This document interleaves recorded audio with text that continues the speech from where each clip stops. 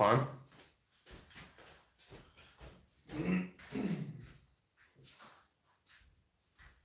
All right, folks, let's bring a cool knife to demo. Sorry guys, I was just on another platform actually. Um, demonstrating some broadhead sharpening and I should have gotten a little bit more ready for this. So, uh, welcome to a video here on YouTube for a change in life. Uh, I usually, like live mode, I usually do this over on Instagram. I'm not even sure which uh, perspective is probably better, if it's landscape or if it is uh, portrait uh, or like uh, vertical. Usually um, I do everything in vertical, but you know what, let's just try this. Now, um, something you can probably see, which I'm gonna tell you or like show you in a second is um, I have two Tormeks lined up here uh, with 20, these are both T4s, both with diamond steels, coarse over here, fine over here.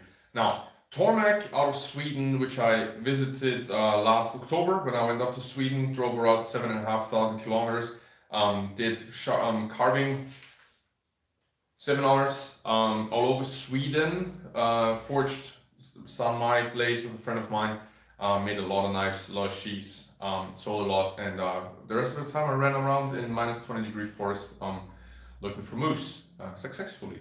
Uh, so that was two months up there, and uh, I um, have been working with Tormek for quite a while now. Um, do a lot of testing, do a lot of hard use on them because, um, of course, I'm using them for my work. Uh, just to give you an example, the other day I launched 10 vintage Moras, um, something like this. This one is actually going to Japan, I think. Um, vintage, good old steel, and they're all getting a hollow grind to perfection on my Tormeks. These knives deserve to have another life. And uh, I'm gonna take you through this entire, um, I take you through this entire process today, but I want to talk about the jig first. So um, regular uh, knife jig that comes with the Tormek is this old one. Um, I'm not even sure anymore what the name of this is. Um, new one is the KJ45, which is um, knife jig 45 millimeters wide. Uh, what are the differences? Let me just bring it in a little bit. I'm gonna go through this uh, rather quickly. I did a long live video on Instagram the other day. Number one, this is the old one, this is the new one. Um, the new one is a lot smaller, lighter. It has, as you can see, I ground these down quite a bit doing very small knives and I would touch the jig all the time, which I don't really care about. Um, I don't care for it too much, but I also don't really care about it too much. Um, the new ones come with a smaller angle on the cheeks. The knob on the bit, the new one is a lot smaller by about like two thirds not to get somehow tangled up with the bar system on the Tormeks and these getting in the way.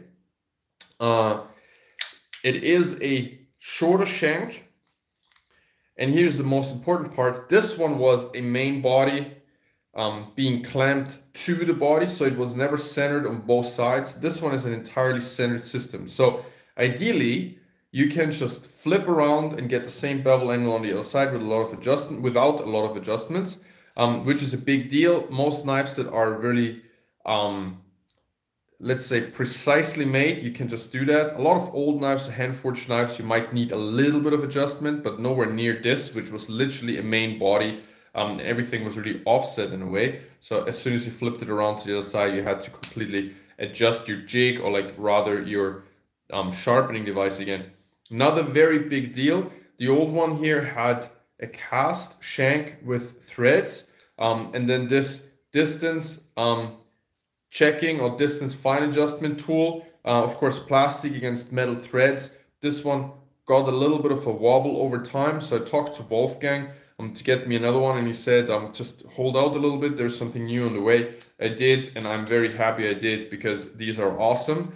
Um, so when I was up there I was able to share my two cents about a couple of jigs and how these could be improved as well. Um, for us um, Sloyd style carvers with a little bit different tools, Um, I'm sure they ne- didn't need my advice on anything at all, but it was uh, was really nice that they at least listened to me about a couple things. Other than that, clamping system is the same. Open this knob, tighten down this knob, then tighten this knob. Um, the knives usually don't move at all. Uh, big deal for this. Um, uh, let's just say the problem with this was that you had a hard stop. Uh, sometimes the bar didn't want to slide too much. You had a hard stop, and then knives that needed to be swiveled, which is usually the case with very curved knives. They don't want to go straight across and then be lifted up at the tip. Gonna, you're going to see that in a minute.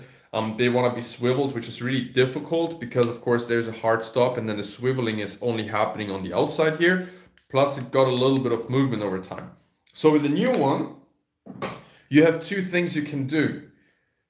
And I'm going to show you this over on the um, the Tormek itself here. Best, I think this is going to be a lot more easy to understand than if I'm just rambling. So there they are, the puppies. So the idea was originally that you're gonna be able to have a hard 90 degree stop, go across, and if you had a knife that it was just straight, and then with a tip like this, you could just lift it up towards the tip and get the, um, the tip sharpened, which usually results in a little bit smaller bevel angle or like a steeper angle, higher angle at the tip because of you coming inside of this radius here. It's getting shorter of a distance towards the bar. That means you get a steeper bevel angle. Now, because of this being rounded on the outside, in order to swivel it, that was kind of a little bit clunky. So what they did with the new one is there's a double stop. There's one here that is just a stop, but it doesn't give you any bar which means you get a perfect distance, but you can almost perfectly just swivel it, which is very important for um, anything that is a little bit more curved blade. Um, I don't know if I have anything here that is like that. Um, it's mainly what you would use for, for skinning knives, for example. Um, so if you have something like a longer curve, like on this knife I have here on my belt, for example, which is more of a, um, a hunting knife, it doesn't have a short abrupt curve, but a longer belly, which means that if I'm just lifting it up, I get a very steep bevel here. I have a line actually that I put here on the Tormek in the past just to show that effect. Um, if I'm putting it in here,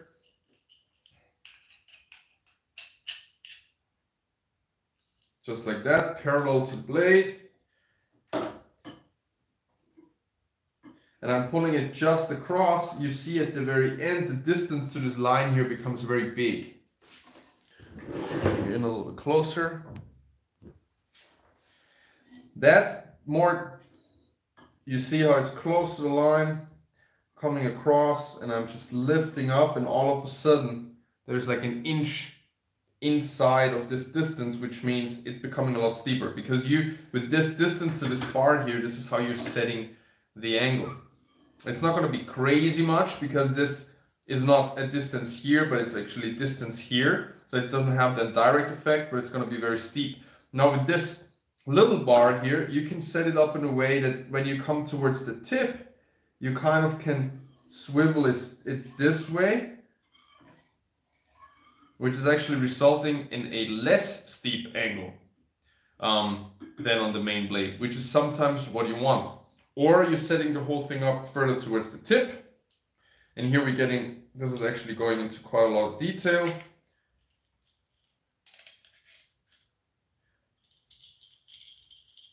And slightly at an angle. This way you can actually favor the belly of the knife rather when you sharpen. So there's a lot of fine minute details um, that can be talked about. I'm not going to do this today. I just wanted to show you that they put a double stop in here, one that is specifically for swiveling a knife, and one that is not a mix between a hard stop and a round stop, but it's just a hard stop, which means it is a lot more secure. It doesn't want to accidentally bend like that or like swivel like that. It just stays where it's supposed to be. It's great. Other, also this design on the back here is really exactly what I'm using. I usually put my thumb on here, which with this little ledge here, or what you want to call that, it is doing perfectly for me putting my thumb, then my fingers on the blade, and then I can move it this way. I can also use it like this and push it, use the other hand, do it this way. So this is a much smarter and much more, uh, much more, well, how can you say that, um, practical design really based on, um, on user reviews and user uh, feedback, which is always great to see when a company does that. Other than that, again, it's centered. The back one is really just for a hard stop, going straight, straight, straight across and then lifting, which we're going to be doing today on this knife. The other one is particularly for sw swiveling. You got we got rid of the fine adjustment on the back here, but again, plastic threads against metal got loose over time anyways. Still, these are not obsolete. If they didn't come out with this, I would have no issue with this one here. Okay, so nobody needs to run and just get something new and, and like throw this in the trash. This is not a bad jig. I was doing hundreds and hundreds of knife and axes with this thing here, and I probably noodled it out way quicker than other people would because I was just basically doing this hours and hours a day. So don't think about this being obsolete or like a bad design. It is actually a great design and it has some advantages. I like the weight. Um, there is, it is nice to have this micro adjustment on the back if you're just off by hair. This one here just forces you to use the fine adjustment wheel over here that allows you to go single turn, turns up or down, which is fine adjusting this bar by like millimeters up and down, okay? So it's just a different way. Uh, it doesn't get you confused between this one and that one, which one you actually should turn, and then in the end you over adjust this and that. But there is advantages to this old one too. So again, this is not obsolete. This is not bad. Don't worry about it. Now, just gonna bring this over here a little bit. All my Swedish stuff here in the background. Um, and we're gonna hop from my 1T4 with diamond, um, two diamond wheels, uh, both running in water, of course. Uh, huge advantage. You're not gonna overheat your blades. The speed is not innovated. You're gonna mess something up terribly super quickly. And there's of course way less risk than on any high speed setups. Um, the diamond wheels also have the advantage that they don't shrink in size as you wear them so you can really hop from one to the other wheel without any adjustments like when you have natural stones and this one would be a regular one and this would be a Japanese 4000 for example sometimes you need to do adjustments because this one might be at 19.7 and this might be at 19.9 or 20 so that's the that is the advantage disadvantage um, is that they're expensive and they got, will wear off over time while a regular water stone that they come with you can rough up um, and true out and you can use all the way until it's like literally gone. So, but these one will wear out over time at some point. Um, but I think um, advantages, disadvantages kind of weigh each other up. So in at the end of the day, um, what, whichever setup you have is just perfect. So this is the T4 Bushcraft and this is the regular T4. Um, I'm gonna sharpen this cheapest Mora knife available here. This is a Mora 511, I think it's called. I bought it in Sweden together with, excuse me, way more other Moras, um, way more than I actually want to um, admit. This is the cheapest you can get. I think it's a like the carbon steel blade. Um, what I usually do is I get sometimes rid of that finger guard there, um, which is allowing me to just really have it as a puukko uh, and have a little bit more handle size to play with and choke up on it and stuff like that. So sometimes even make leather sheaths for it because this is still such a great knife. Um, it's just very quickly made, doesn't have the super wide or thick blades or anything like that. But a very, very nice knife. Um, is it the sharpest? Definitely not. Um, but we're gonna work on this right now and we're gonna get it to an insanely stupid sharpness. Um, paper cutting tests are kind of stupid. So there is a little bit of issue there. If you get it right, it does kind of cut, but it can be a lot better. Um, my arms don't really have a lot left to check. Um, definitely does not shave. At the end of the day, um, I want this to be popping hair off like crazy. So um, let's get right into it. Sometimes what I do, I don't have the diamond uh, file up here, it's down in the workshop, but usually I put a little sharpening choil in here. Um, that can be done on the side of the Tormek here.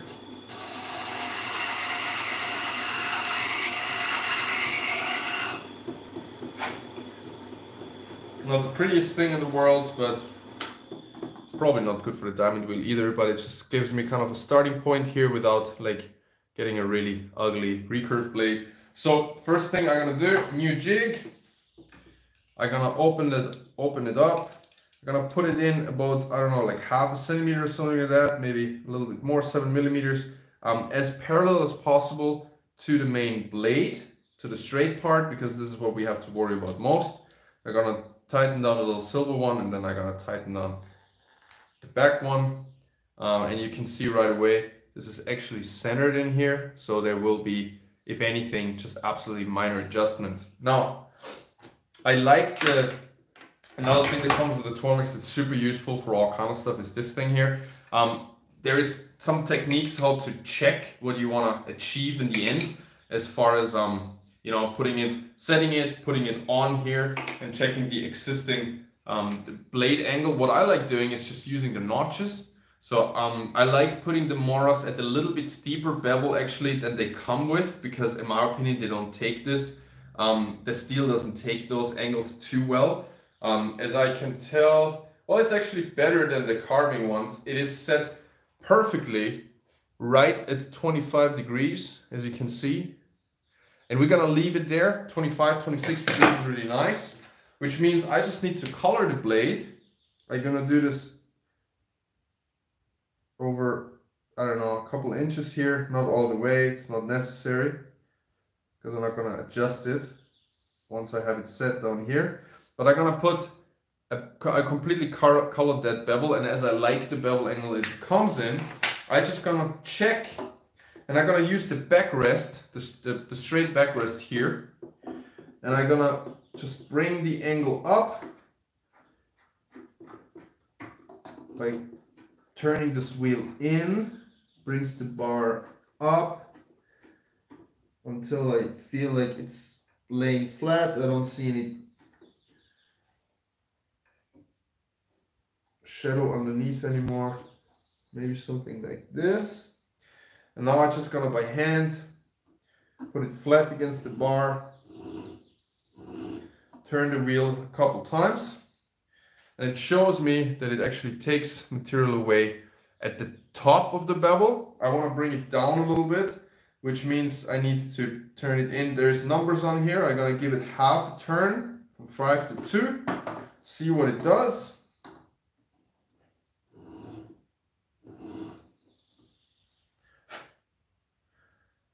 And that second iteration brought it right into the middle of the bevel.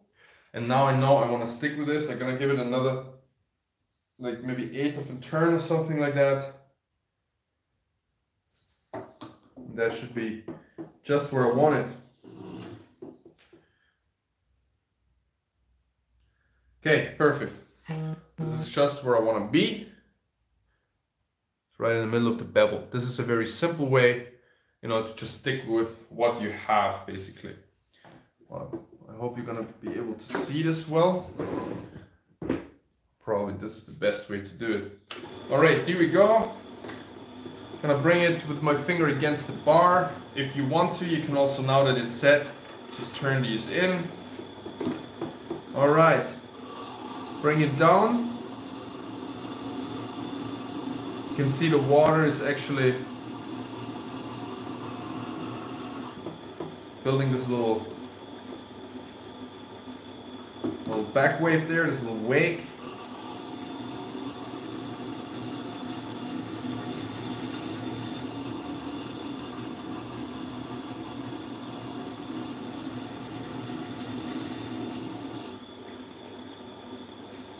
As you can see, we're already getting a nice hollow. Beginning when I got this wheel, it was definitely more aggressive understandably worn it already a little bit over the course of many, many, many knives. And now that we get towards the tip here, here we can run completely straight, which is nice to have this 90 degree stop here without the turning, or like without the, the, the radius on the side. Looking good. Another pass.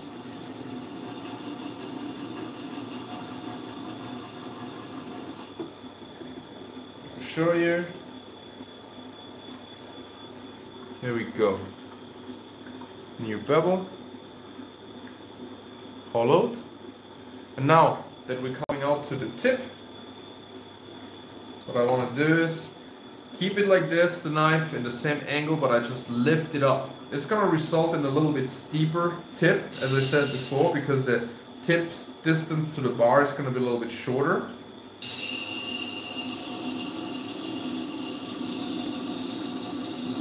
I don't have a problem with that.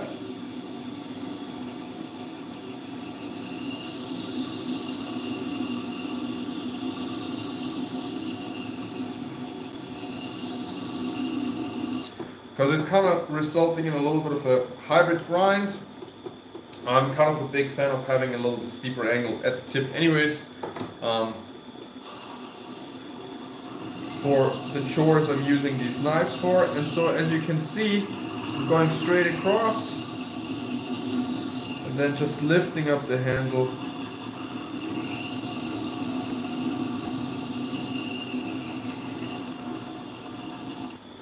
blending them into the main bevel. I'm going to show you what it looks like in a moment.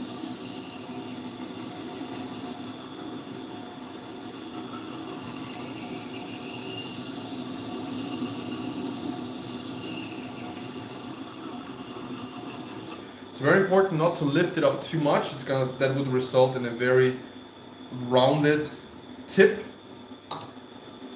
Sometimes what I do as well is I bring it my hand against the back like this and that allows me to bring the hand down on the, the knife blade and put a little bit more pressure.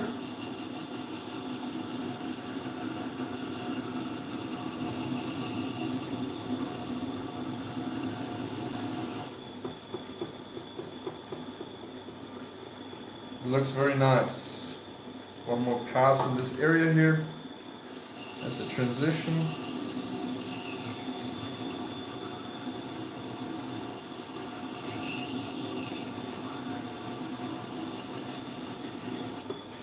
All right, just like that. Got ourselves completely re-beveled Mora, slightly steeper angle at the tip. Perfect hollow. The same angle as the main blade was before. You see a burr. Just like that. The burr should be all the way. That's why I'm gonna give it one more couple passes.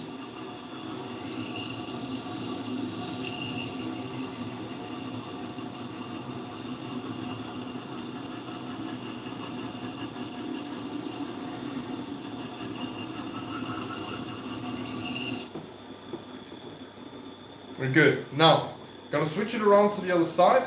Gonna do the other side with a little bit less talking and then we can actually switch over to the final wheel, which is always fun. Just gonna check here.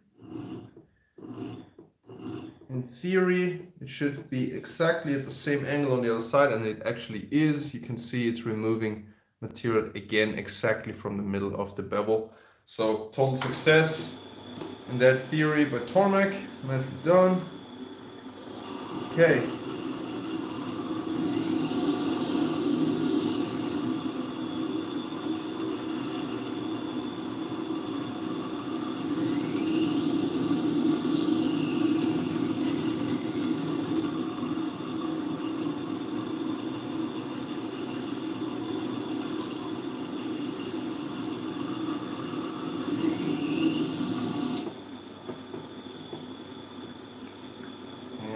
nice.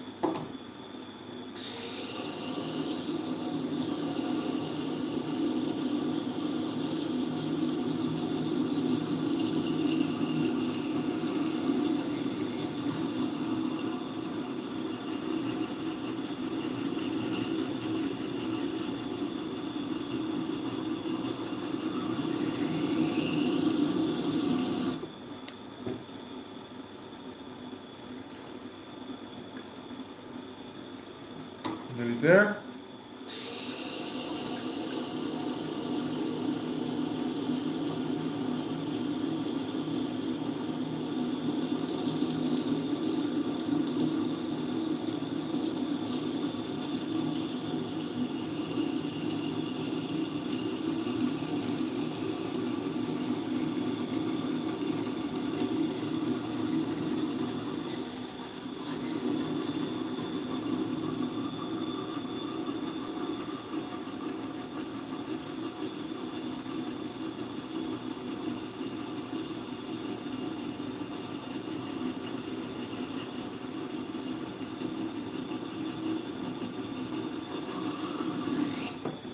So I need to wait until I see a burr actually occurring, which means that we are hitting the, the very edge from both sides. Otherwise, if we're not getting down to zero, it's not gonna have any,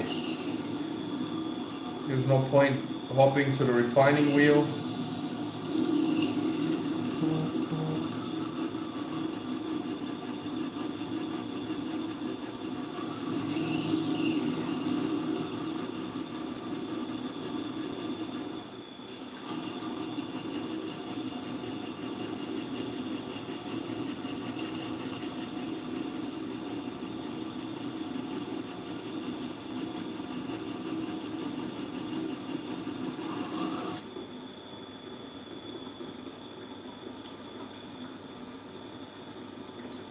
we are.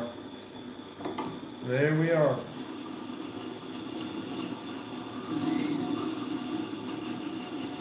Now the cool thing is with this new setup that you can literally just switch around to the other side and throw the burr back and forth a couple times.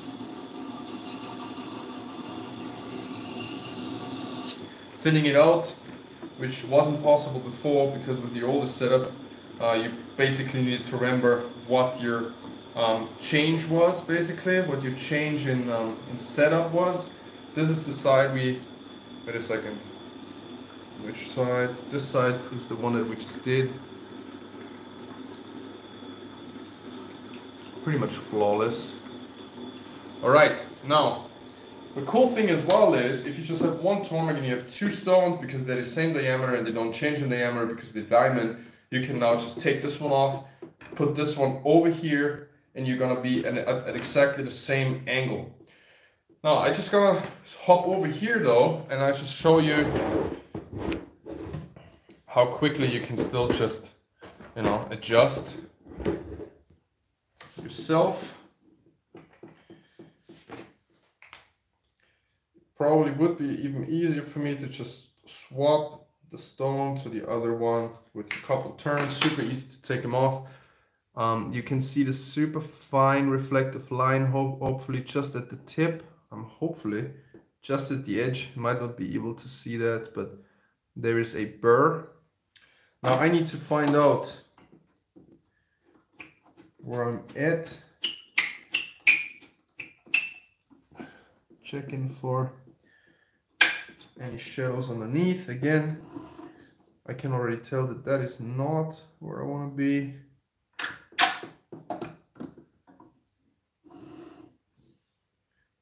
probably getting there yes should be pretty close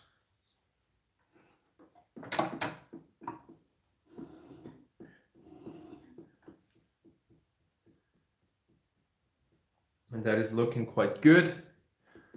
Removes the Sharpie, I'm gonna give it another little bit. Yeah, and there's no resistance here anymore, so I can tell that it's perfectly sitting inside of my hollow. tighten that down. Put it on here. I can tell this is buttery smooth.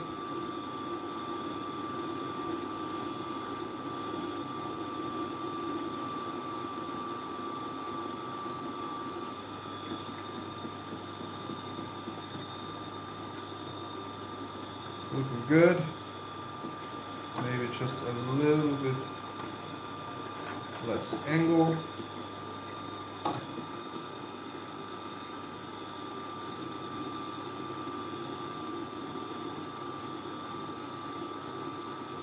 These fine, super fine diamond wheels are just an absolute pleasure.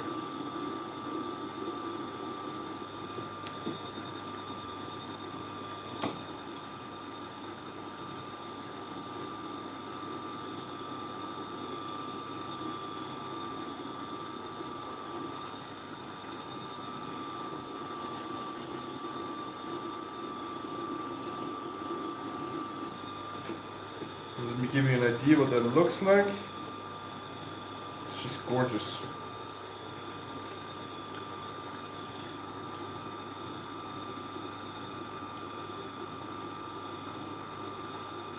Almost flawless. Need to get over that one more time. Compared to this side is a lot more coarse. And here the only thing we need to do after this is stropping and we're done.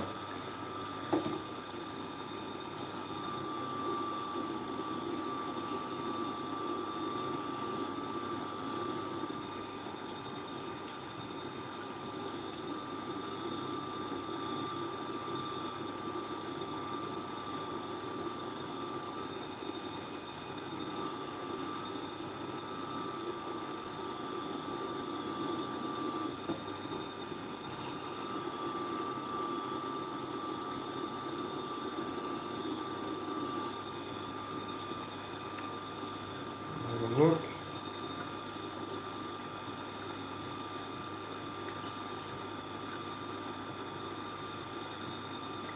Looking really good. Let's flip around to the other side. I know I don't need to adjust that.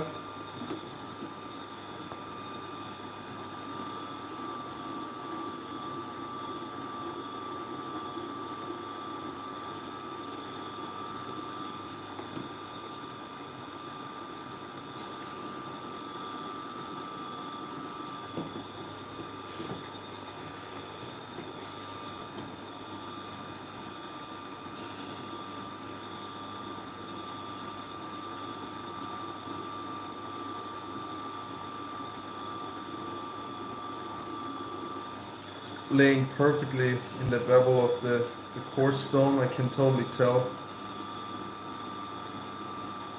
There's like no resistance, no sound, very, very positive.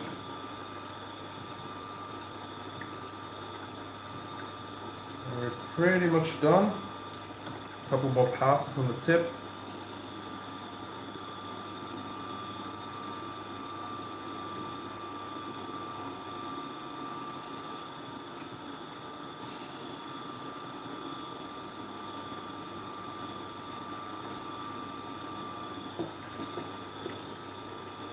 Checking in between.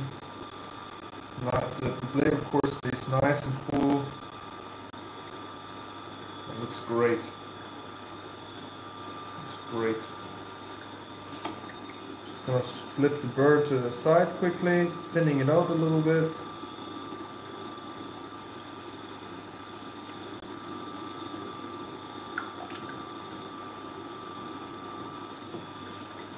Okay, now we're almost done. The only thing we need to do now is put it on the leather wheel. And we have a great, great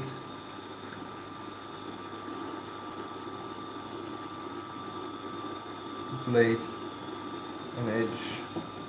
Now of course this can be done on secondary bevels. I do this a lot with my pocket knives. Very quick,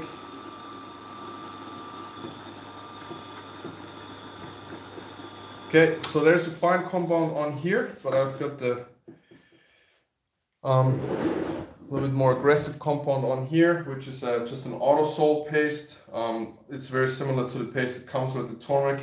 Um, it's just perfect for this application. So now what I usually do is that I just, um, it comes on this spinning thing here. just like that. Can I take the knife out of the jig? Be careful, at this point it is already very, very, very sharp. Um, still this like 22, uh, 25 degree angle. It's already quite acute. So this is the before.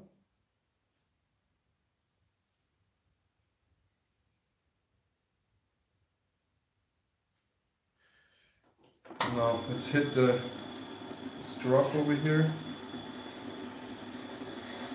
You need to be careful not to touch the wheel over here with your with your grip, so that's why I'm always kind of swiveling out.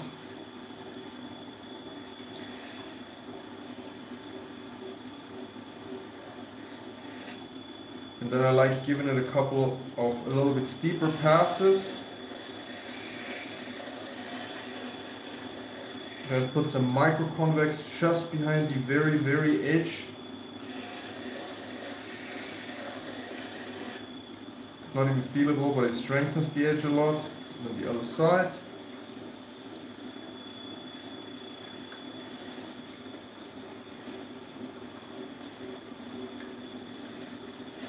Of course, needs to be practiced, like everything.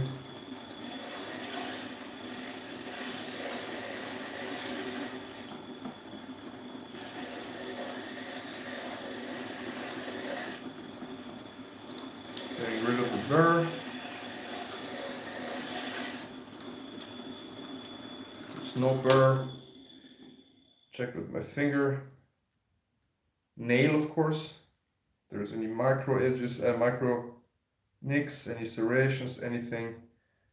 Now it's already really, really scary sharp.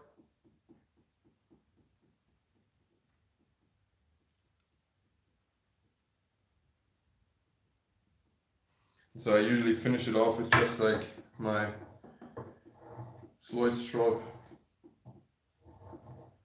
fine compound.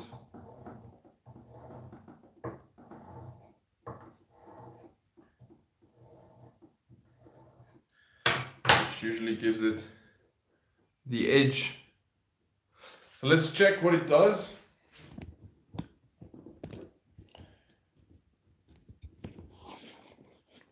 I'll bring you guys back into normal height.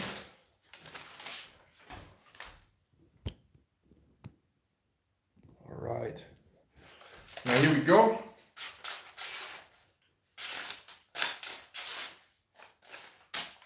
There's just no resistance.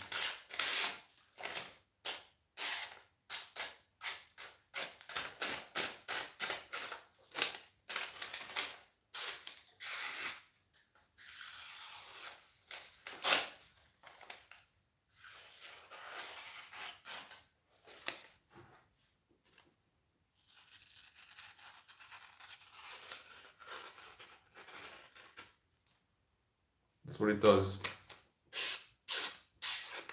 This is a four dollar knife.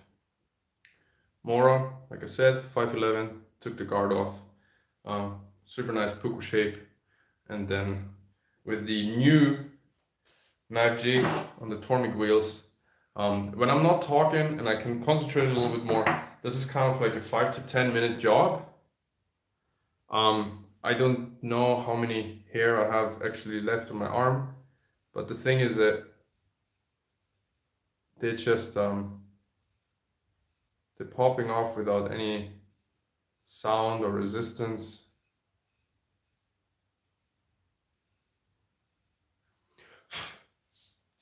It leaves complete, completely perfect baby butt. So in between what I like doing quite a lot is um, just throwing it right back onto that wheel. Um, that has become a very, very often used uh, strategy by me during my carving sessions. Um, if I need to get the the edge back to uh, sharp, then I'm just um, throwing it on here and it even takes care of the really short hair that uh, I checked on yesterday.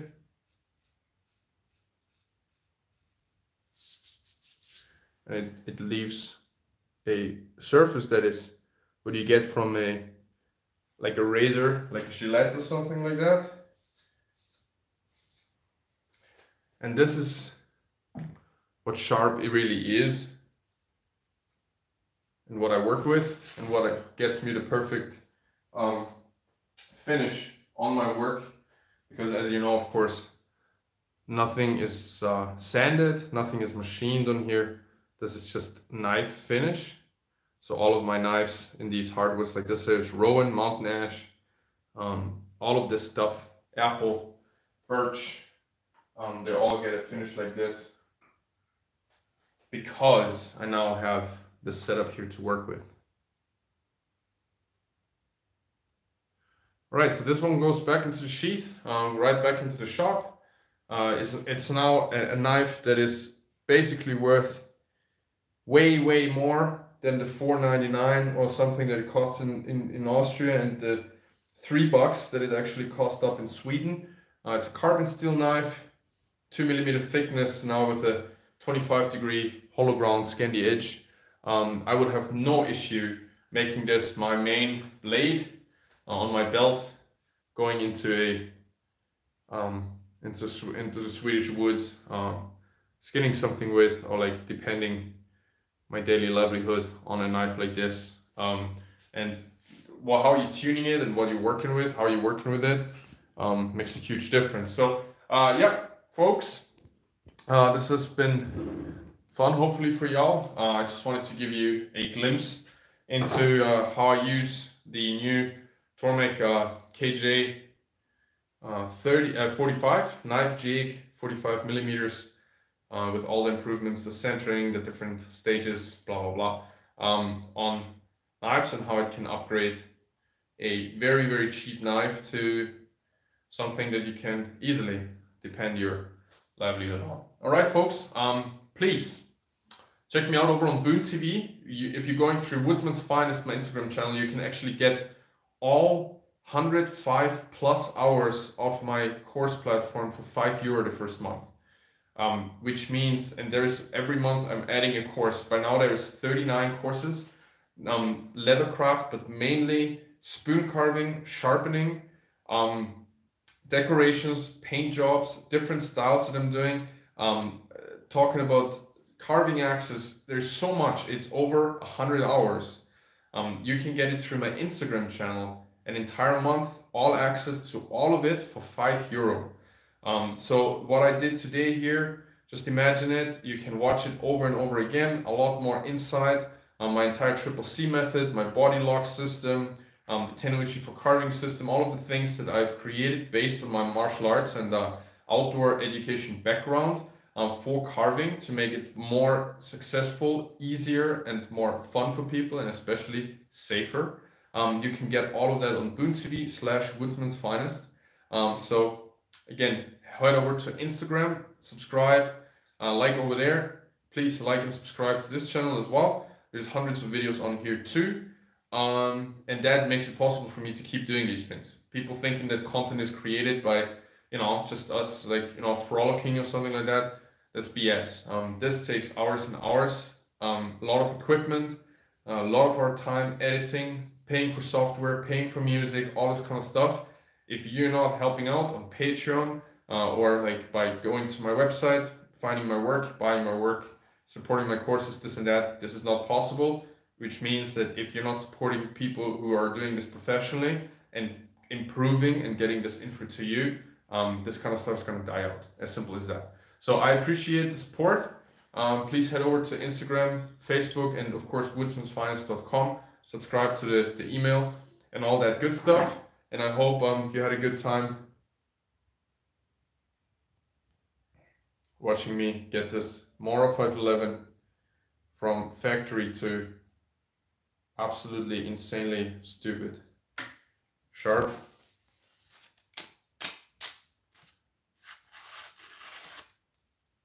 We go.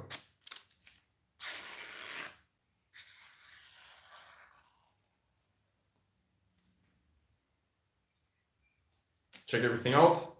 Today I'm gonna launch a course in the afternoon about how I'm doing my, let me see where it is.